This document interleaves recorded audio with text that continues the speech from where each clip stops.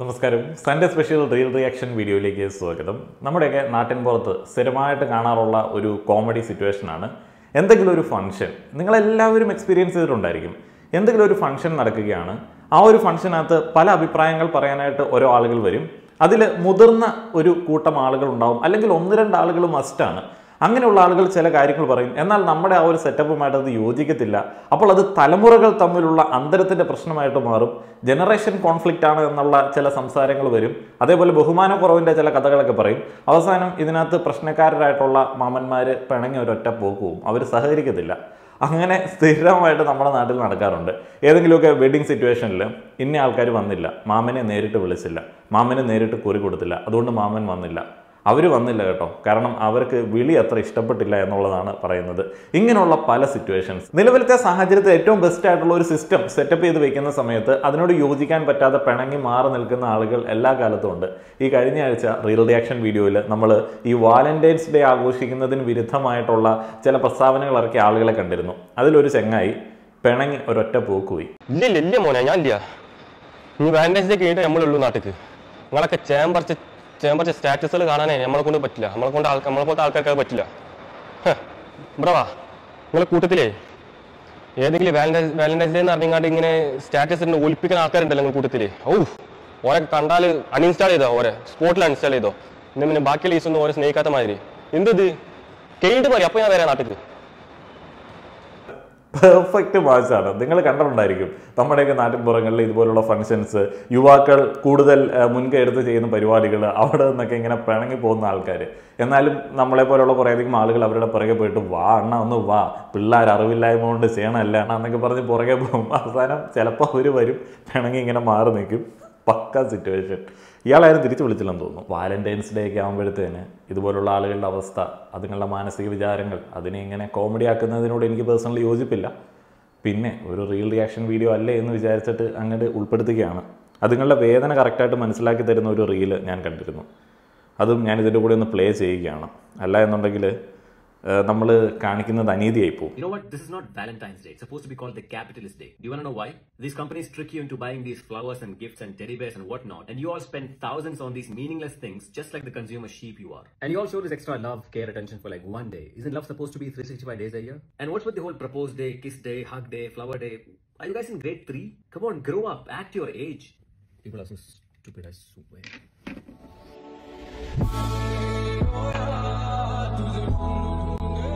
ഇതിനെയൊക്കെ ശക്തമായിട്ട് എതിർക്കുന്ന ആളുകൾക്ക് ഉള്ളിൽ ഇങ്ങനെയുള്ള ഒരു സിറ്റുവേഷൻ ഉണ്ട് എന്ന് പറഞ്ഞാൽ പല ആളുകളും അക്സെപ്റ്റ് ചെയ്യില്ല. അക്സെപ്റ്റ് ചെയ്യാത്ത ആളുകൾക്ക് വേണ്ടി ഞാൻ വേറൊരു റീൽ കാണിക്കാം.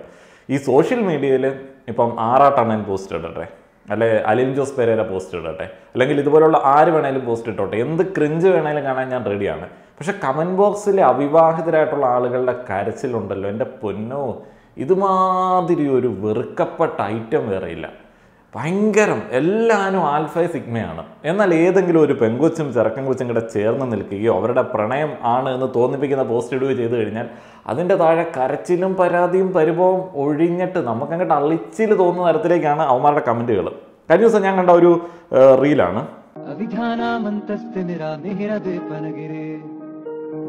ചൈതന്യസ്തവകം പരന്ത ചിന്താമണി ഗുണനികാ ജന്മചരധാ जन्मजलधा निमज्ञानं भ्रंष्टा मुनैकुवराहस्य भवति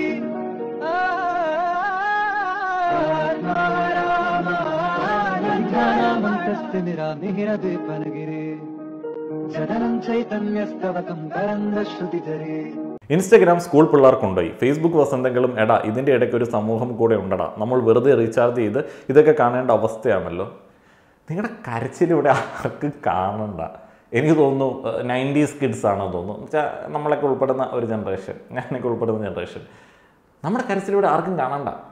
നിങ്ങളുടെ പരാതികൾ ദയവ് ചെയ്തിട്ട് എവിടെയെങ്കിലും ഒതുക്കി വയ്ക്കുക രണ്ട് പേര് അവരുടെ ഒരു സന്തോഷകരമായിട്ടുള്ള നിമിഷം പങ്കുവയ്ക്കുന്ന സമയത്ത് ഇതുങ്ങളുടെ കരച്ചിലാണ് കമന്റ് ബോക്സിൽ എന്തിന്? നിങ്ങൾ എങ്ങനെ അഫക്റ്റ് ചെയ്യുന്നത്? നിങ്ങൾക്ക് പ്രണയം സെറ്റാവാത്തതോ വിവാഹം കഴിക്കാത്തതോ ഒക്കെ പ്രപഞ്ചത്തിന്റെ കാരണങ്ങൾ കൊണ്ടല്ല. അത് നിങ്ങളുടെ പേഴ്സണലായിട്ടുള്ള എന്തൊക്കെയോ കാരണങ്ങൾ കൊണ്ടാണ്. ഇത് വേറെ ആരുടെയും ബാധ്യതയല്ല. ഇതുങ്ങളെ എങ്ങനെയെങ്കിലും ഒന്ന് നേപ്പാളിലേക്ക് വിട്ടാലോ? കഴിഞ്ഞ ദിവസം പയ്യൻ പറഞ്ഞ പോലെ നേപ്പാളിലാണെങ്കിൽ ഇഷ്ടം പോലെ അവിവാഹിതരായിട്ടുള്ള ആളുകളുണ്ട് പെൺകുട്ടികൾ. ആൺകുട്ടികൾ അങ്ങടേക്ക് വിടാം. ഈ പെൺകുട്ടികൾ എന്ത് ചെയ്യും? When I was young I use to see adults getting married now am an adult and I see young ones getting married I don't know where I belong വലിയ കൂട്ടം ലൈക്കുകൾ ആ ഒരു കമ്പനിയിലുണ്ട് പതിനെട്ട് വയസ്സ് കഴിഞ്ഞിട്ട് നിങ്ങൾക്ക് കല്യാണം കഴിക്കാനായിട്ട് അത്രമാത്രം കോൺഫിഡൻസ് ഉണ്ടെന്നുണ്ടെങ്കിൽ ആൺകുട്ടികൾക്ക് ഇരുപത്തൊന്നല്ലേ? കോൺഫിഡൻസ് ഉണ്ടെന്നുണ്ടെങ്കിൽ കിട്ടിക്കൊള്ളുക അപ്പോൾ അതിനകത്ത് ജോലി വേണം വിദ്യാഭ്യാസം വേണം മുന്നോട്ടേക്ക് ജീവിക്കാനുള്ള വക വേണമെന്നൊക്കെ പറയുന്നത് അത് ഇവിടുത്തെ പുരോഗമന ചിന്താഗതികളിൽ പറയുന്ന കാര്യമാണ്.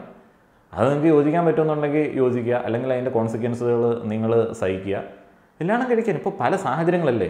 ഇപ്പോൾ പെട്ടെന്ന് എല്ലാവരും കല്യാണം കഴിക്കാൻ വേണ്ടി മുട്ടി നിന്നിട്ട് കിട്ടുന്നൊന്നും അല്ലല്ലോ. പലവിധ സാഹചര്യങ്ങൾ കാരണം ചില ആളുകൾ നേരത്തെ കല്യാണം കഴിക്കുന്നത് ഇതിനൊക്കെ എന്തിനാണ് ഈ കരച്ചിൽ ഇതിന്റെ കമന്റ് ബോക്സിൽ ഒരു കൺഗ്രാറ്റ്സ് പറയാനായിട്ടോ അല്ലെങ്കിൽ നല്ല വിവാഹമംഗള ആശംസകൾ നേരാനായിട്ടോ ഒരുത്തനുമില്ല ഇതുങ്ങളുടെ കരച്ചിൽ തന്നെ. ഈ പ്രായത്തിലൊക്കെ കെട്ടി അങ്ങനെ ജീവിക്കും. ഇവിടെ ജോലി ഉണ്ടായിട്ട് കൂടി സ്വന്തം കാര്യം പോലും നന്നായിട്ട് നോക്കാൻ പറ്റാത്തതുകൊണ്ട് നാലഞ്ച് വർഷത്തേക്ക് കല്യാണം വേണ്ടെന്ന് പറഞ്ഞ് നിൽക്കുന്ന ഞാൻ. അത് നമ്മുടെ ഒരു ചിന്താഗതിയാണല്ലോ. ഇപ്പം ജോലി കിട്ടിയിട്ട് കല്യാണം കഴിക്കുക. അല്ലെങ്കിൽ എന്താ പറയുന്നത്? കുറച്ചും കൂടെ മെച്ചുവറായിട്ട് കല്യാണം കഴിക്കുക എന്നൊക്കെ പറയുന്നത് നമ്മൾ പറയുന്ന കാര്യങ്ങളാണ് കല്യാണം കഴിച്ച ആൾക്കാരോട് ഇനിയിപ്പോൾ അത് പറഞ്ഞിട്ട് കാര്യമില്ലല്ലോ. അപ്പോൾ ഒരു ഒരു സിറ്റുവേഷനിൽ അവർ കടന്നുപോയി. ഇനിയിപ്പോൾ അത് മാറ്റാനായിട്ട് അവർ വിചാരിക്കാത്തടത്തോളം കാലം നമ്മൾ അതിനകത്ത് എന്തിനാണ് ഈ പറയുന്നത്? ഇതിന്റെ കമന്റ് ബോക്സ് മുഴുവൻ ഇജാതി ടീമുകളുടെ നിലവിളിയും കരച്ചിലാണ് കുഴപ്പമില്ല ഇതൊക്കെ ഭയങ്കര രസമാണ്. നിങ്ങളുടെ ദുരന്തമൊക്കെ പറയുന്നതിനകത്ത് കോമഡിയൊക്കെ ആസ്വദിക്കാനൊക്കെ പറ്റും. പക്ഷെ അതിനകത്തൊരു മയം വേണ്ടേ? ഒരാളുടെ സന്തോഷകരമായിട്ടുള്ള ഒരു സിറ്റുവേഷൻ അയാളുടെ ഒരു മൊമെന്റ് അയാൾ സോഷ്യൽ മീഡിയയിൽ അപ്ലോഡ് ചെയ്യുന്നു നല്ല പാട്ടൊക്കെ കൊടുത്തിട്ടുണ്ട് നല്ല ഭംഗിയുണ്ട് അത് കാണാനായിട്ട്. എന്തെങ്കിലും ആയിക്കോട്ടെ ബാക്കി കാര്യങ്ങൾ നമ്മളെ എഫക്റ്റ് ചെയ്യുന്ന കാര്യങ്ങളല്ലല്ലോ. ഏതായാലും ലീഗലി മാരീഡ് ആയിട്ടുള്ള ആളുകളാണല്ലോ. അതിന്റെ കമന്റ് ബോക്സിൽ ഒരു മയം വേണ്ടേ? ഒരു മയം. ഇത് ഫുൾ അത് തന്നെ. ഇനി വിവാഹത്തെക്കുറിച്ചിട്ടൊക്കെ ഉള്ള റീലുകളുണ്ട് അത് കാണിച്ചു കഴിഞ്ഞാൽ ഇതിന്റെ കമന്റ് ബോക്സിൽ ആളുകൾ കരയോ? എനിക്കറിയില്ല. ആ ഇനിയിപ്പോൾ അടുത്ത റീൽ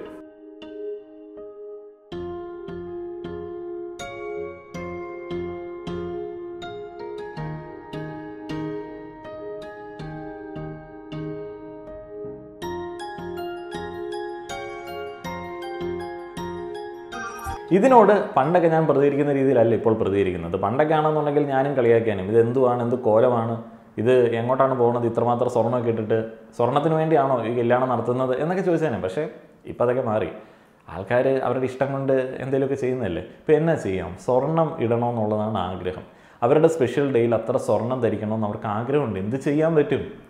അതിനകത്ത് വേറെ മറ്റേ പൊളിറ്റിക്സോ അല്ലെങ്കിൽ അതിന്റെ മെസ്സേജോ ഒന്നും നോക്കുന്നില്ല. അവരങ്ങ് ധരിക്കുന്നു. ഇപ്പോൾ ദേഹം മുഴുവൻ ടാറ്റു അടിക്കണം എന്നുള്ളതാണ് ആഗ്രഹം.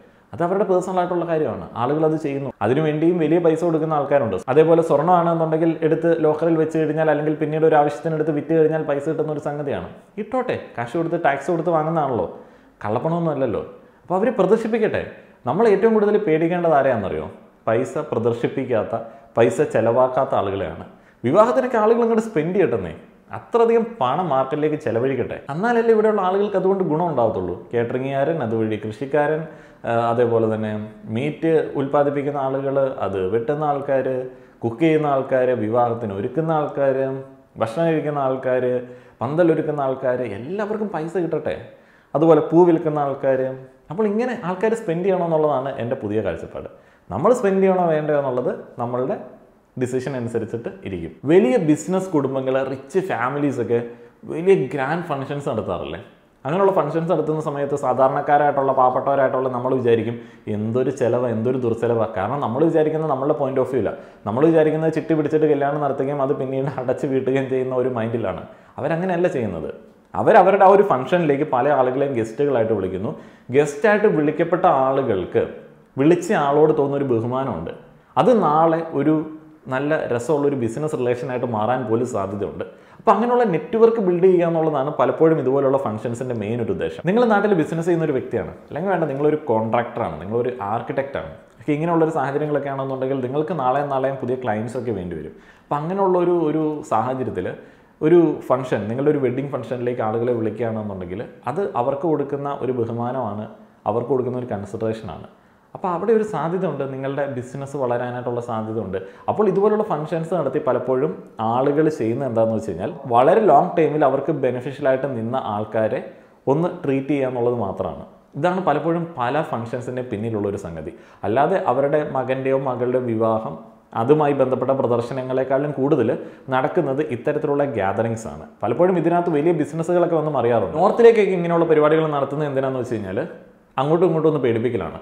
ചെക്കൻ്റെ സൈഡിലും പെണ്ണിൻ്റെ സൈഡിലും അങ്ങോട്ടും ഇങ്ങോട്ടും ഒന്ന് പേടിപ്പിക്കലാണ് അപ്പോൾ ഈ സ്ത്രീധനം എന്ന് പറയുന്നത് നിരോധിച്ചല്ലോ അപ്പോൾ അതിൻ്റെ ഭാഗമായിട്ട് വലിയ ഫങ്ഷൻസ് നടത്തുന്ന സമയത്ത് പെണ്ണിൻ്റെ വീട്ടുകാർ അവിടെ നിന്ന് വരുന്ന ആളുകൾ ഒത്തിരി ഗിഫ്റ്റ് ഇങ്ങടേക്ക് കൊടുക്കണം ഗിഫ്റ്റായിട്ട് വാങ്ങുന്നതിന് കുഴപ്പമില്ലല്ലോ അപ്പോൾ ആ ഒരു ഗിഫ്റ്റുകളുടെ കണക്കെടുക്കുന്ന ഒരു വീഡിയോ എൻ്റെ കയ്യിൽ കിട്ടിയിട്ടുണ്ട് അത് കേട്ട് കഴിഞ്ഞാൽ നിങ്ങൾ ഞെട്ടും टेबल है दो गाड़ी है एक मर्सिडीज बेंज और एक फॉर्च्यूनर कुल मिला के सवा किलो सोना है जी सात किलो चांदी है डाइनिंग सेट है जी दो गाड़ी है मर्सिडीज ई क्लास 200 और एक फॉर्च्यूनर है जी।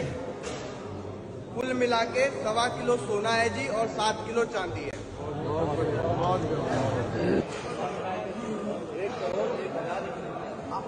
एक करोड़ एक सौ एक हज़ार एक सौ इक्यावन कन्यादान के जी इक्यावन आठ लाख। इक्यावन हज़ार एक सौ इक्यावन है जी। लगन क्या है? इक्कीस लाख एक हजार एक सौ इक्यावन रुपया जी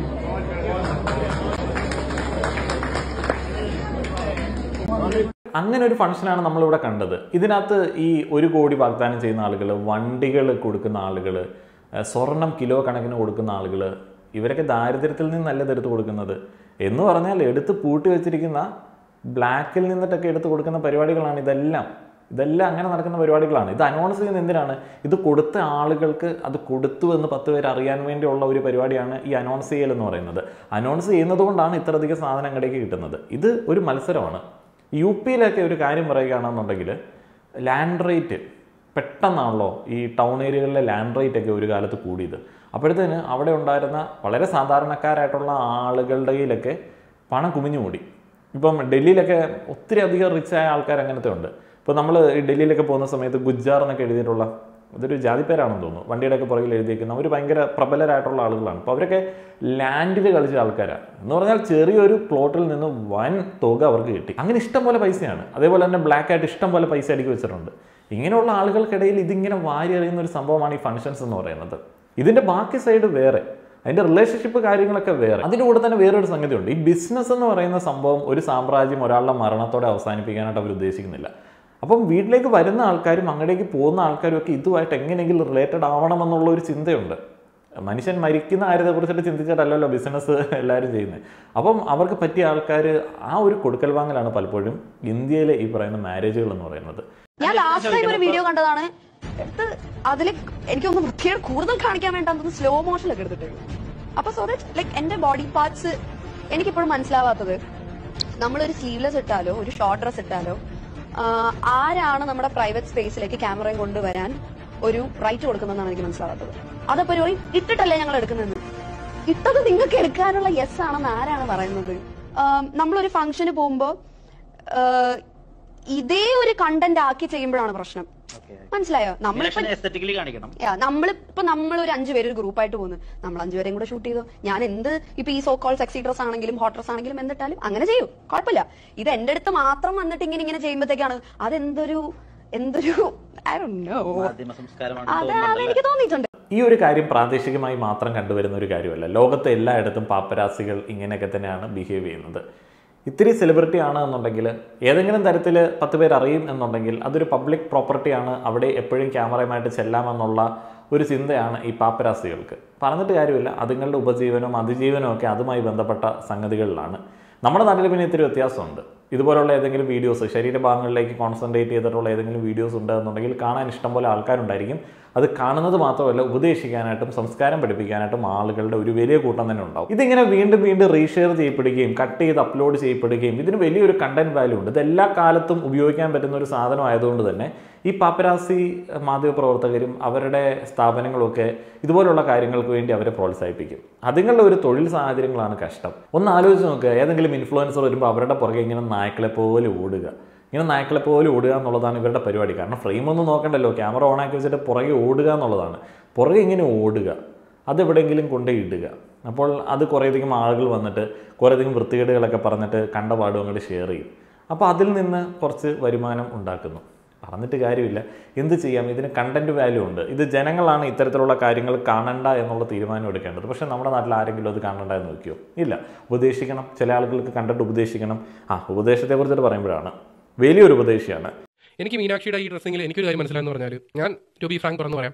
അവരുടെ ആ ഒരു ഡ്രസ്സിങ് അവരുടെ ശരീരത്തിന് ഇണങ്ങുന്നതായിട്ട് എനിക്ക് തോന്നിയിട്ടില്ല. അത് എന്റെ ഒപ്പീനിയൻ മാത്രമാണ് കേട്ടോ. അത് എന്റെ ഒരു കാഴ്ചപ്പാടിൽ ഞാൻ പറയുകയാണ് അത് അവരുടെ ഡ്രസ്സിങ് എന്ന് പറയുന്ന ആ ഒരു വസ്ത്രം എന്നുള്ളതല്ല. അതായത് ഉദാഹരണം ഞാൻ പറഞ്ഞുതരാം. ഒരാൾക്ക് ഇപ്പോൾ ഒരു നീല ജീൻസ് ഇടാം. അതേപോലെ തന്നെ ഒരു കറുത്ത ജീൻസ് ഇടാം. ചിലർക്ക് കറുത്ത ജീൻസ് ഇട്ട് കൂടുതൽ ഇണങ്ങുമെന്ന് പറയത്തില്ലേ? കുറച്ച് നീല നീല ജീൻസ് ഇട്ടാൽ കൂടുതൽ ഇണങ്ങുമെന്ന് പറയത്തില്ലേ? അത് ജീൻസ് അങ്ങ് മാറ്റണമെന്നല്ല ഞാൻ പറയുന്നത്. അപ്പോൾ ഇവർ സെലക്ട് ചെയ്യുന്ന വസ്ത്രത്തിൽ എനിക്ക് അവരുടെ ശരീരത്തിന് അത് എന്റെ കാഴ്ചപ്പാടിൽ ഞാനൊരു സുഹൃത്തെന്ന രീതിയിൽ നോക്കുകയാണെങ്കിൽ എനിക്കത് ചേരുന്നതായിട്ട് തോന്നിയിട്ടില്ല. അതുകൊണ്ട് എന്റെ ഒപ്പീനിയൻ പറഞ്ഞു കേട്ടോ. ഇനി എന്നെ പോകാനിടാൻ വരണ്ട. വന്നാലും എന്റെ ഒപ്പീനിയൻ ആണിത് ഇപ്പോൾ ഞാൻ ഡ്രസ്സ് ഇടുന്നു. ഞാൻ ഈ കളർ ഡ്രസ്സ് ഇട്ട് നിങ്ങൾക്ക് പലർക്കും തോന്നും. അയാൾക്ക് അത് ചേരുന്നില്ല. ഇച്ചിരിയും കൂടെ ഒരു ലൈറ്റ് കളർ ആയിരുന്നെങ്കിൽ ചേരും എന്ന് പറയത്തില്ലേ? അതേപോലെയാണ് വസ്ത്രത്തിന്റെ രൂപമോ കാര്യമല്ല ഞാൻ പറയുന്നത്. അവരെ ആ ഒരു എന്തുകൊണ്ട് ആ വസ്ത്രം അവർക്ക് ഇണങ്ങുന്നതായിട്ട് എനിക്ക് തോന്നിയിട്ടില്ല. മാത്രമല്ല രണ്ടാമത്തെ ഒരു കാര്യം പല ആളുകളുടെ കാര്യം അവർ ഡ്രസ്സ് പുരുഷന്മാരല്ല കൂടുതൽ സ്ത്രീകൾ അവർ ഡ്രസ്സ് ധരിക്കുന്ന പലപ്പോഴും മീഡിയ അറ്റൻഷൻ കിട്ടാനാണെന്നും പല സമയത്ത് റീച്ച് കുറയുന്ന സമയത്ത് പല വേദികളിൽ വരുമ്പോൾ ഇതുപോലത്തെ ഡ്രസ്സ് പല രീതിയിൽ ഞാൻ പറയട്ടെ അളവ് കുറയ്ക്കുന്നത് എനിക്ക് തോന്നിയിട്ടുണ്ട്. സ്ത്രീയുടെ വസ്ത്രധാരണത്തിൽ അവരുടെ ശരീരം മറച്ചു വെക്കുമ്പോൾ കിട്ടാത്ത പോപ്പുലാരിറ്റിയും വൈറാലിറ്റിയും അവർ വസ്ത്രം കുറയ്ക്കുമ്പോൾ കിട്ടുന്നതായിട്ട് തോന്നിയിട്ടുണ്ട്. അത് അവർ മാക്സിമം യൂട്ടിലൈസ് ചെയ്യുകയും ചെയ്യുന്ന. ആരെങ്കിലും കുറ്റം പറയുമ്പോൾ വന്നിരുന്നുണ്ട് അവരെ തെറി പറയുകയും ചെയ്യുന്നതായിട്ട് എനിക്ക് തോന്നിയിട്ടുണ്ട്. എന്റെ ഒപ്പീനിയൻ മാത്രമാണ്. എന്റെ നിലവിലല്ല അവർ ജീവിക്കുന്നത് അവർ അവരുടെ ഇഷ്ടത്തിന് അവരുടെ ചിലവിലാണ് ജീവിക്കുന്നത് പക്ഷേ അങ്ങനെ ഒരു കാര്യം എനിക്ക് തോന്നി ഉള്ളത് ഞാൻ ഉള്ളത് പറഞ്ഞു ഓരോരുത്തർക്ക് ഓരോ ചിലർക്ക് ചുരിദാർ ഇണങ്ങും ചിലർക്ക് ബിക്കിനി ഇട്ടായിരിക്കും ഇണങ്ങുന്നത് ചിലർക്ക് സാരി കൊടുത്താൽ ഇണങ്ങും ചിലർക്ക് ഇണങ്ങുന്ന ഒരു ഇതുണ്ടല്ലോ. അപ്പോൾ അതുപോലെ അവർക്ക് എന്തോ ഒരു ഇണങ്ങാഴിക ഉള്ളതുപോലെ എന്തിനാണ് ആളുകൾ ഇതിനകത്തൊക്കെ കമന്റ് പറയാൻ വേണ്ടി പോകുന്നത്? ഭയങ്കര രസകരമായിട്ടുള്ള ഉപദേശങ്ങളാണ്. ഇപ്പോൾ നമ്മുടെ സുഹൃത്ത് നമ്മളോട് ചോദിച്ചു എടാ എനിക്ക് ഈ വസ്ത്രം ചേരുന്നുണ്ടോ? അപ്പോൾ വേണമെങ്കിൽ പറയാം. നമുക്കൊരു ഓപ്ഷൻ ഉണ്ട് പറയാനായിട്ട്. അവനത് ചോദിച്ചിട്ട് പറഞ്ഞാന്ന് വിചാരിക്കാം. അല്ല എന്നുണ്ടെങ്കിൽ അവർക്കത് ചേരുവോ ചേരത്തില്ലയോ? അങ്ങനെയൊക്കെ പറയേണ്ട ആവശ്യം എന്താണ്? ചില ആളുകൾക്ക് ഇന്നത് ചേരും ചില ആളുകൾക്ക് ഇന്നത് ചേരത്തില്ല. അത് നമ്മളുടെ കാഴ്ചപ്പാടിലാണ് ഇത് ചേരുവോ ചേരത്തില്ലയോ എന്നൊക്കെ നമ്മൾ പറയുന്നത്. അതിനെക്കുറിച്ചിട്ട് നമുക്ക് എന്തറിയാം നമ്മൾ ആരാണ്? ഇതൊക്കെ ചുമ്മാ ഒരുമാതിരി മറ്റേ പൊതിഞ്ഞെടുത്ത അപരാധം അത്രേ ഉള്ളൂ. ഒരു മജോറിറ്റി സപ്പോർട്ട് ചെയ്യുന്നത് ഇത്തരത്തിലുള്ള സദാചാരം പഠിപ്പിക്കലുകളെയാണ്. അപ്പോൾ ആ ഒരു മജോറിറ്റി തൃപ്തിപ്പെടുത്തിയാൽ മതി. ബാക്കിയുള്ള നമ്മളെപ്പോലുള്ള മൈനോറിറ്റി പറയുന്നത് കേൾക്കേണ്ട ആവശ്യമൊന്നുമില്ല. കാരണം അവർക്ക് വേണ്ടത് വ്യൂസും കാര്യങ്ങളൊക്കെയാണ്. അൻപതിനായിരത്തിന് മുകളിൽ ലൈക്ക് ഉണ്ട് ആ ഒരു വീഡിയോയ്ക്ക്. വൺ മില്യൺ മുകളിൽ വ്യൂസ് ഉണ്ട് എന്ന് എനിക്ക് തോന്നുന്നു. അപ്പോൾ അതാണ് അവരുടെ ഒരു സ്ട്രാറ്റജി ഇത് എല്ലാ മേഖലകളിലും അപ്ലൈ ചെയ്യാൻ പറ്റും. ഏതൊരു മേഖലയിൽ ഇരുന്നിട്ടും സദാചാരം പറയുന്ന ആളുകൾ ഇഷ്ടം പോലെ ഉണ്ട്. ഈ മൊബൈൽ ഫോൺ ടെക്നീഷ്യൻ ആയിട്ടുള്ള ഒരു വ്യക്തി അദ്ദേഹത്തിന്റെ ചില വീഡിയോസ് ഇടയ്ക്കിടയ്ക്കിടയ്ക്ക് ഇങ്ങനെ കയറി വരാറുണ്ട്. അദ്ദേഹത്തിന്റെ ഫോൺ റിപ്പയറിംഗ് ഷോപ്പിൽ റിപ്പയറിന് എത്തുന്ന എല്ലാ മൊബൈലും എങ്ങനെയായിരിക്കും എന്നറിയോ? ഭർത്താവ് അവഹിതം കണ്ടുപിടിക്കുന്ന സമയത്ത് ഒടിച്ചു മടക്കിയ ഫോണുകളായിരിക്കും അദ്ദേഹത്തിന് എപ്പോഴും കിട്ടുക. എനിക്കറിയില്ല കേരളത്തിൽ അവഹിതം നടക്കുന്ന ഭർത്താക്കന്മാരെല്ലാം ഇയാളുടെ കടയിൽ മാത്രം കൊണ്ടുപോയി എന്തുകൊണ്ടാണ് ഫോൺ നന്നാക്കാൻ കൊടുക്കുന്നത് എന്നുള്ളത്? അയാൾക്ക് എന്നും അങ്ങനത്തെ ഒരു കഥ പറയാനുണ്ടാവും. ഇതല്ല ഇവർ പറയുന്നത് ഇവരുടെ ഉള്ളിലെ ആ ഒരു ചിന്തയിൽ നിന്നാണ്. ഒന്ന് ആലോചിച്ച് നോക്കുക ഈ ഒടിച്ചു മടക്കിയ ഫോൺ കൊണ്ടുപോയി കൊടുക്കുന്നു. അല്ലെങ്കിൽ അങ്ങനെയുള്ള ഒരു ഫോൺ റിപ്പയറിങ്ങിന് വേണ്ടി വരുന്നു. അയാളത് റിപ്പയർ ചെയ്ത് എന്തൊക്കെയോ കണ്ടെത്തുന്നു. ഇതിനകത്തൊക്കെ വളരെയധികം സ്പെല്ലിംഗ് മിസ്റ്റേക്ക് പേഴ്സണലി ഫീൽ ചെയ്യില്ലേ? ഇതാണേ. കൊറോണയുടെ വാക്സിനേഷൻ ആളുകൾ പോയി ഇയാൾ പറയുന്ന ഓഡിയോടൊപ്പം മ്യൂസിക് ഉള്ളതുകൊണ്ട് ഞാൻ പറയാം ഇയാൾ എന്താണ് പറഞ്ഞത് എന്നുള്ളത്. കൊറോണയ്ക്ക് ശേഷം വാക്സിൻ എടുത്തതിന് ശേഷം ചില ആളുകൾ അവിഹിതത്തിലേക്ക് പോയി ചില ആളുകൾ ഹൃദയാഘാതത്തിലേക്ക് പോയി. എനിക്ക് മനസ്സിലായില്ല ഈ വാക്സിനും അവിഹിതവും തമ്മിൽ എന്താണ് ബന്ധം എന്നുള്ളത്. ആ എന്തെങ്കിലുമൊക്കെ പറയണമല്ലോ. ആ രണ്ട് കാര്യങ്ങൾ ഒരു വീഡിയോയിൽ എങ്ങനെയും കുത്തിക്കയറ്റാൻ വേണ്ടിയുള്ള ശ്രമമായിരിക്കും. ഇതിനുശേഷം അദ്ദേഹം പറയുന്നത് ഗൾഫിൽ നിന്ന് നാട്ടിലേക്ക് പോയ പ്രവാസി രണ്ട് പുതിയ ഫോണുകൾ ഐഫോണുകൾ പെട്ടിപ്പോലും പൊട്ടിക്കാതെ വീട്ടിലേക്ക് കൊണ്ടിയില്ലെന്നു കാണാൻ പാടില്ലാത്ത ചില കാഴ്ചകൾ കാണുന്നു. ആ ഒരു കാഴ്ചകൾ കണ്ടപ്പോഴത്തേന് ഈ മച്ചാൻ ആ ഒരു ഫോൺ തിരിച്ച് ഓട്ടിക്കുന്നു ആ ഒരു ഫോണാണ് ഇപ്പോൾ നന്നാക്കിക്കൊണ്ടിരിക്കുന്നത്. ഉടായ്പാണ്. ഒന്ന് ആലോചിച്ച് നോക്കുക ആപ്പിളിന്റെ ബോക്സ് ആപ്പിളിന്റെ ബോക്സ് ഇങ്ങനെ ഒടിച്ചു. ആപ്പിളിന്റെ ബോക്സ് കണ്ടിട്ടുള്ള ആളുകൾക്കറിയാം ഇങ്ങനെ ഒടിച്ചു. എന്നൊക്കെ പറഞ്ഞു കഴിഞ്ഞാൽ ആരെങ്കിലും വിശ്വസിക്കുമോ ഇത് ഇയാളുടെ സ്ഥിരം ഉടായ്പാണ്. ഇയാളുടെ ചാനലിൽ വേറെ വീഡിയോസ് ഉണ്ട്. ഇഷ്ടംപോലെ വീഡിയോസ് ഉണ്ട്. ഇത് സംഭവം എന്താണെന്ന് വെച്ചാൽ ഇയാൾ തന്നെ ഒടിച്ച് മടക്കിനകത്ത് കയറ്റി വെക്കുന്നു. ബോക്സ് വേറെ സെപ്പറേറ്റ് ഒടിക്കുന്നു. എന്നിട്ട് ഒരു കഥ അങ്ങോട്ട് അടിച്ചങ്ങോട്ട് വിടുന്നു. അല്ലാതെ ബോക്സ് പിടിച്ച് ഒടിച്ചു എന്നുള്ളത് ആപ്പിളിന്റെ ബോക്സ് എന്തൊക്കെ കഥകളാണ്? പറയേണ്ടത് ആരോടൊക്കെയോ പറയണം. ആരൊക്കെയോ എന്തൊക്കെയോ കേൾക്കണം. അതിനുവേണ്ടി ഒരു കഥ എങ്ങനെ അടിച്ചു വിടുന്നു സ്വന്തം മേഖലയിൽ നിന്ന്? അത്ര ഉള്ളൂ ഇതിനകത്ത്. ഇതിനും കാഴ്ചക്കാർ ഇഷ്ടം പോലെ ഉണ്ട്. അതിന്റെ കമന്റ് ബോക്സിൽ ഇഷ്ടം പോലെ ആളുകൾ വന്നിട്ട് അവരുടെയൊക്കെ വേദനകൾ പങ്കുവയ്ക്കുന്നുണ്ട്. എന്തുമാത്രം വേദനയും ആകുലതയാണ് ഇവിടെയുള്ള ഒരു വലിയ കൂട്ടം ആളുകൾക്ക്. ഫുൾ ആകുലതകളാണ് ഒരു കൂട്ടം ആളുകൾക്ക് എസ്പെഷ്യലി ബോയ്സിന് ഈ പെൺപിള്ളേർ അല്ലെങ്കിൽ സ്ത്രീകളൊന്നും ഈ ആകുലത അധികം പങ്കുവെച്ച് വീഡിയോസ് ഇൻഫ്ലുവൻസേഴ്സ് അപ്ലോഡ് ചെയ്ത് ഞാൻ കണ്ടിട്ടില്ല. ഈ നാണംകെട്ട പരിപാടി ചെയ്യുന്ന ആണുങ്ങൾ മാത്രമേ ഉള്ളൂ. ആരുടെങ്കിലും വസ്ത്രത്തെ കുറിച്ചിട്ട് അത് ചേരുന്നില്ല കേട്ടോ. ഇത് മോശമായി പോയി കേട്ടോ. എല്ലാവരും അവിഹിതത്തിൽ നിന്ന് മാറണേ. എന്തുവായി ഈ പോക്ക്? എല്ലാത്തിനും മറ്റേ വലിയതന്ത വൈബാണ് ഇപ്പൊ ഈ താടിയും വെച്ച് ഈ സുന്നത്തം അനുസരിച്ച് ഈ വലിയ ആൾ വിട്ട് തൊപ്പിയിട്ട് നടക്കേണ്ട കാര്യമില്ല. നമുക്കെന്താ ഒരു പെണ്ണിനെ കെട്ടിപ്പിടിക്കാൻ ആഗ്രഹമില്ലാത്തതുകൊണ്ട്? നമുക്കെന്താ ഒരു പെണ്ണിനെ ചുംബിക്കാൻ കൊതിയില്ലാത്തതുകൊണ്ട്? നമുക്കെന്താ വ്യഭിചരിക്കാൻ ആഗ്രഹമില്ലാത്തതുകൊണ്ട്? അള്ളാഹുവിനെ പേടിച്ചിട്ടല്ല നമ്മൾ മാറ്റി നിർത്തുന്നു. എന്തിന്? ആഹ്റത്തിൽ നമുക്ക് അള്ളാഹു തരും തരുമെന്നുള്ള വിശ്വാസത്തിന്റെ പേരിൽ. അതുകൊണ്ട് ഹലാലായത് ഇവരിങ്ങനെ കണ്ടെടുത്ത് കിടന്ന് ഇത്തരത്തിലുള്ള കാര്യങ്ങളൊക്കെ പറയുന്നത് കൊണ്ടാണ് പലപ്പോഴും ആളുകൾ ഇങ്ങനെ വിചാരിക്കുന്നത്. മതമില്ല എന്നുണ്ടെങ്കിൽ ഇവർ എന്തോരം വലിയ അക്രമകാരികളായേനെ എന്നുള്ളത്. അതുപോലെ തന്നെയാണ് ഇവർ നമ്മളോട് തിരിച്ചു പറയുന്നത് മതം ഇല്ല എന്നുണ്ടെങ്കിൽ ഇവിടെ ക്രൈംസ് നടക്കാൻ സാധ്യതയുണ്ട്. കാരണം ഇവരങ്ങനെയാണ്. മതം എന്ന് പറയുന്ന ആ ഒരു സാധനം ഉള്ളതുകൊണ്ട് മാത്രമാണ് ഓരോന്ന് ചെയ്യാതിരിക്കുന്നത്. അങ്ങനെയൊന്നും അല്ലടേ. അങ്ങനെയൊന്നുമല്ല മനുഷ്യന്മാരൊക്കെ ജീവിക്കുന്നത്.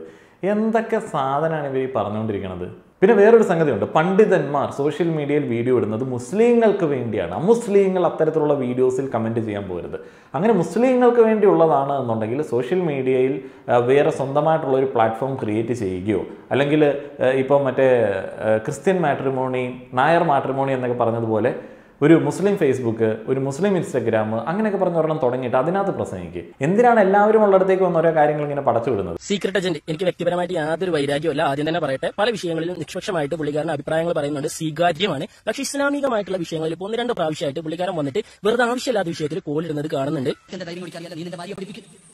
പഠിപ്പിക്കും. അല്ലെങ്കിൽ പെണ്ണുങ്ങൾ പഠിപ്പിക്കുന്ന സ്കൂൾ ഉണ്ടല്ലോ അവിടെ ആണുങ്ങൾ പഠിപ്പിച്ചാലേ ഡ്രൈവിംഗ് ഡ്രൈവിംഗ് ആവും. അള്ളാഹു കാത്തിരിക്കുമാറാകട്ടെ ആ പോണ വഴിയിലെങ്ങാനും നീ തീർന്നു പോയാ അള്ളാഹു കാക്കുമാറാകട്ടെ ആ പോണ വഴിക്ക് തീർന്നു പോയി.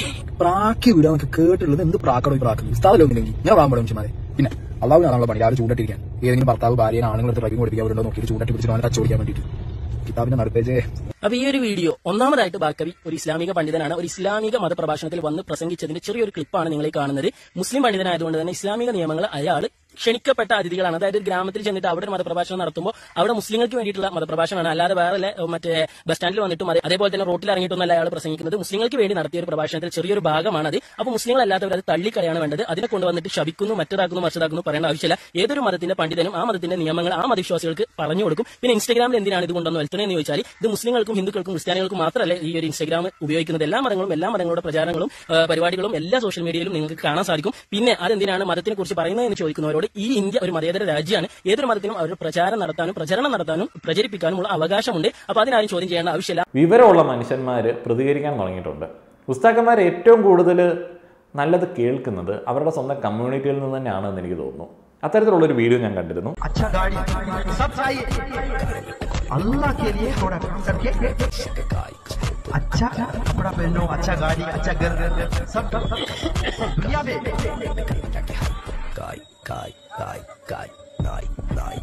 अल्हम्दुलिल्लाह अभी नियत करो देखो अच्छा नियत से सिहाब भाई हम लोग पूरा इंडिया में हैं मैं भी इंडिया में हूँ। केरला किधर है केरला मेरा घर का कितना किलोमीटर बीस किलोमीटर का बाद समुद्र, वो समुद्र का सामने में नज़र उधर से दूसरा समुद्र जिद्दा समुद्र तक आठ हज़ार छह सौ चालीस किलोमीटर पैसे चल के एक बार पहले मैं भी अकेले जाने के लिए लिए किया। मैं भी पूरा इंडिया का पेट्रोल पंप का नंबर कलेक्ट किया।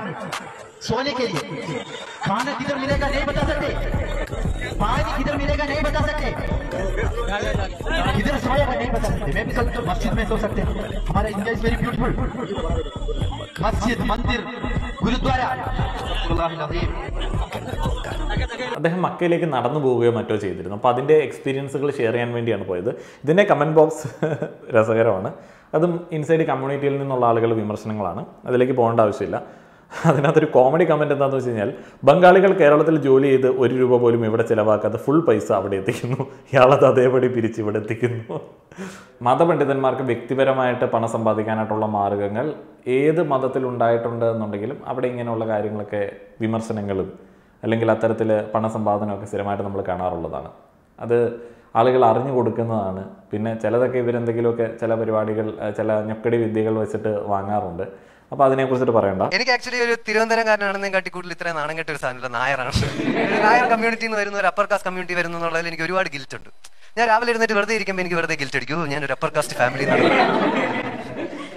പക്ഷേ ഇത് നമ്മുടെ ജനറേഷനിൽ പലരും ഫേസ് ചെയ്യുന്ന ഒരു പ്രോബ്ലമാണ് കാരണം ഇപ്പം ഏറ്റവും കൂടുതൽ ജാതിയുടെ എതിരെ സംസാരിക്കുന്ന അപ്പർ കാസ്റ്റ് ആൾക്കാരാണ്. പണ്ടൊക്കെ ഏറ്റവും വലിയ കാസ്റ്റ് റിഫോമർ സഹോദരൻ അയ്യപ്പനാണെങ്കിൽ ഇപ്പൊ സഹോദരി സംയുക്തയാണ്. ഇപ്പോഴത്തെ ജനറേഷന്റെ ഒരു സ്ട്രാറ്റജി ഇതാണ് നമ്മുടെ പേരിന്റെ അവസാനം ഒരു വാലുണ്ടെങ്കിൽ നമ്മൾ തട്ടിക്കളയും അല്ലേ? മേനോൻ എന്നൊക്കെ. ഇപ്പൊ ഒരാളെ പോയി എടാ മേനോനെ എന്ന് വിളിച്ചാൽ അവർ ഒഫൻഡ് ആവും. മേനോനോ? മേനോനോ? ആരുടെ എന്നെ മേനോൻ എന്ന് വിളിച്ചാൽ? എന്നാ കുഴപ്പമില്ല. എനിക്ക് ഇദ്ദേഹത്തിന്റെ സ്റ്റാൻഡപ്പ് കോമഡീസ് ഭയങ്കര ഇഷ്ടമാണ്. പിന്നെ ഈ പറയുന്ന കാര്യം കഴിഞ്ഞ ദിവസം ഞാൻ ഇൻസ്റ്റഗ്രാമിൽ ഒരാളുമായിട്ട് ഇത് ചാറ്റ് ചെയ്തിരുന്നു. ഈ പേരിൽ നായർ മേനോൻ എന്നൊക്കെ ഇടുന്നത് മാതാപിതാക്കളാണല്ലോ. പിള്ളേർക്കൊന്നും അറിയത്തൊന്നുമില്ലല്ലോ പിന്നീട് അതൊരു വലിയ ബാധ്യതയാവും. ഇപ്പോഴത്തെ ഒരു കാലഘട്ടത്തിലാണെന്നുണ്ടെങ്കിൽ അങ്ങനെ പേരിന്റെ അറ്റത്ത് വാലും ഒക്കെ ആയിട്ട് നടന്നു കഴിഞ്ഞാൽ ജാതി വാലൊക്കെ വെച്ചുകൊണ്ട് നടന്നു കഴിഞ്ഞാൽ ആൾക്കാർ കളിയാക്കും. അത് ഓരോ കാലഘട്ടത്തിൽ അങ്ങനെയാണെന്നേ. ഈ കാലഘട്ടത്തിന് യോജിച്ച ഒരു പേരിടൽ രീതിയൊന്നും അല്ല അത്. എന്തൊക്കെയാണെന്ന് പറഞ്ഞാൽ നമ്മളത് അംഗീകരിക്കണം. ഇത് ശരിക്കും പറഞ്ഞാൽ ക്രിറ്റിസിസം എവിടെയാണ് സ്റ്റാർട്ട് ചെയ്യേണ്ടത്? അതിട്ട പേരൻസിന്റെ അടുത്താണ്. പിന്നെ തീരെ പറ്റത്തില്ല എന്നുണ്ടെങ്കിൽ മാറ്റുക എന്നുള്ളതല്ലാതെ വേറെ ഓപ്ഷനൊന്നുമില്ല. ഇപ്പോൾ ഈ കളിയാക്കുന്ന ആൾക്കാരോട് കളിയാക്കരുത് എന്ന് നമുക്ക് എത്രത്തോളം പറയാൻ പറ്റും? കാരണം ഇവിടെ എന്ത് കാണിച്ചാലും ആൾക്കാർ കളിയാക്കും. പിന്നെ ഇനിയുള്ള ജനറേഷനെങ്കിലും അങ്ങനെ പേരിടാതിരിക്കുക ആരെയും ബുദ്ധിമുട്ടിക്കാതിരിക്കുക. കാരണം ആ ഒരു തുല്യതാ ഭാവം ഉണ്ടല്ലോ. ഒരു ക്ലാസ്സിലിരിക്കുന്ന സമയത്ത് ഒരു കൂട്ടത്തിൽ ചെല്ലുന്ന സമയത്ത് അതങ്ങ് നഷ്ടപ്പെടും.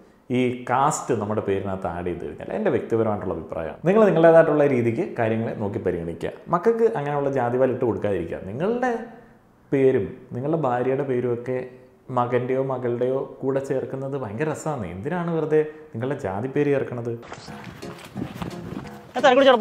അല്ല വക്കീൽ എനിക്ക് നേരത്തെ ചെല്ലണം അല്ലെങ്കിൽ ബസ്സിൽ സീറ്റ് കിട്ടില്ല. സ്ത്രീകൾക്ക് റിസർവേഷൻ റിസർവേഷൻ ഉണ്ട്. പക്ഷെ ബസ് സ്റ്റാർട്ട് ചെയ്യുന്നതിന് മുന്നേ നമ്മൾ പോയാലല്ലേ ഉള്ള ആ റിസർവേഷൻ കിട്ടുന്നത്. അപ്പൊ വക്കീൽ ഈ വൈറലായ വീഡിയോ ഒന്നും കണ്ടില്ലേ? അതെ നിങ്ങൾക്ക് ബസ് പുറപ്പെടുന്നതിന് മുമ്പ് മാത്രമാണ് എടുക്കാനുള്ള ഈ വീഡിയോ ഈ പറയുന്നത് ഫേക്ക് ആണ് കാരണം നിലവിലെ നിയമം അനുസരിച്ച് കേരളത്തിലെ ഏത് സ്വകാര്യ ബസ്സിലോ K S R T C ബസ്സിലോ സംവരണം അനുവദിക്കപ്പെട്ട വിഭാഗങ്ങൾ ആ സീറ്റ് ചോദിച്ചാൽ അത് ഒഴിഞ്ഞു കൊടുക്കാൻ സംവരണം ഇല്ലാത്ത ആളുകൾ ബാധ്യസ്ഥരാണ്. ഇവിടെ ഒരു സ്ത്രീ അവരുടെ സംവരണ സീറ്റ് ചോദിക്കുന്നു പുരുഷൻ കൊടുക്കുന്നില്ല. ഇത് നിയമപരമായ കുറ്റാരാണ് മാത്രമല്ല യാത്രയിൽ എപ്പോൾ വേണമെങ്കിലും സ്ത്രീ ഇങ്ങനെ സംവരണ സീറ്റ് ചോദിച്ചാൽ അത് കൊടുക്കാൻ പുരുഷൻ ബാധ്യസ്ഥരാണ് ഇത്തരത്തിൽ സംവരണ സീറ്റുകൾ അനുവദിക്കാതിരിക്കുന്നത് എം വി ആക്ടിലെ സെക്ഷൻ വൺ സെവന്റി സെവൻ അനുസരിച്ച് പിഴ ഈടാക്കാവുന്ന കുറ്റമാണ്. ഇത് മാത്രമല്ല ഇങ്ങനെ സംവരണ സീറ്റ് അനുവദിക്കണമെന്ന് ആവശ്യപ്പെടുന്ന K S R T C കണ്ടക്ടറോട് മോശമായിട്ട് പെരുമാറുകയോ അവരുടെ ഡ്യൂട്ടി തടസ്സപ്പെടുത്തുകയോ ചെയ്താൽ I P C section three fifty three അനുസരിച്ച് രണ്ട് വർഷം വരെ തടവ് ലഭിക്കാവുന്ന കുറ്റമാണ്. ഇന്നത്തെ റീൽ റിയാക്ഷൻ വീഡിയോ ഇവിടെ അവസാനിക്കുകയാണ്. നിങ്ങളുടെ അഭിപ്രായങ്ങൾ പറയുക. ഉസ്താക്കന്മാരുടെ റീൽ അധികം അയച്ചു തരാതിരിക്കാൻ ശ്രദ്ധിക്കുക. അവരുടെ റീൽ മാത്രമേ ഉള്ളൂ. അവരിലൊരു വലിയ കൂട്ടം ആളുകൾ ഇഷ്ടം പോലെ എങ്ങനെ അപ്ലോഡ് ചെയ്യുന്നത് കൊണ്ട് നമുക്ക് കണ്ടന്റിന് വലിയ പഞ്ഞൊന്നുമില്ല. പക്ഷേ നമ്മുടെ ആ ഒരു റീൽ റിയാക്ഷൻ വീഡിയോയിലെ ആ ഒരു വൈവിധ്യം അങ്ങോട്ട് വരുന്നില്ല. ഇവരുടെ റീൽ മാത്രമാകുമ്പോഴത്തേന് പലപ്പോഴും ഇത് അവർക്കൊരു പ്രൊമോഷനായി വരുന്നുണ്ടോ എന്നുള്ളൊരു ചിന്തയും എനിക്കുണ്ട്. നന്ദി.